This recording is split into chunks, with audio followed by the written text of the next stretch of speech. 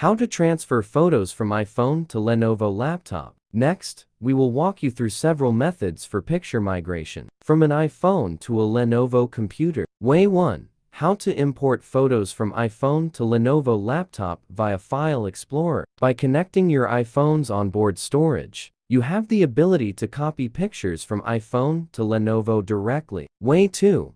How to transfer photos from iPhone to Lenovo laptop via Assistant for iOS. Mobikin Assistant for iOS provides you with a more comprehensive and thoughtful service. It's a one-stop tool, shipping with features like data transmission, backup, restore, and management. How do I transfer photos from my iPhone to my Lenovo laptop with Assistant for iOS? Step 1. Run Assistant for iOS on a computer. Step 2. Choose the pictures for transfer. Step 3. Transfer photos from iPhone to Lenovo laptop. Want to put various iOS files on your laptop or desktop wholly with one click? Simply do it by going to the program's Super Toolkit, iTunes Backup, and Restore. Backup. Choose a backup location, OK. Way 3.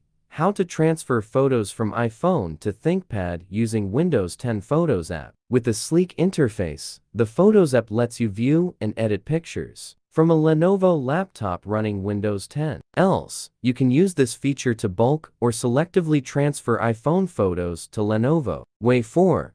How to upload pictures from iPhone to Lenovo laptop with iCloud. It's essential to make sure you've made a backup of your photos on iCloud. By enabling the iCloud sync, then you're empowered to make the photo transmission. With the assistance of iCloud Photo Library. Way 5. How to transfer photos from iPhone to Lenovo laptop via iTunes. As iPhone traditionally worked well within its ecosystem, iTunes is a decent option to download photos from iPhone to Lenovo. To proceed with the transfer smoothly, please ensure you install the latest version of iTunes.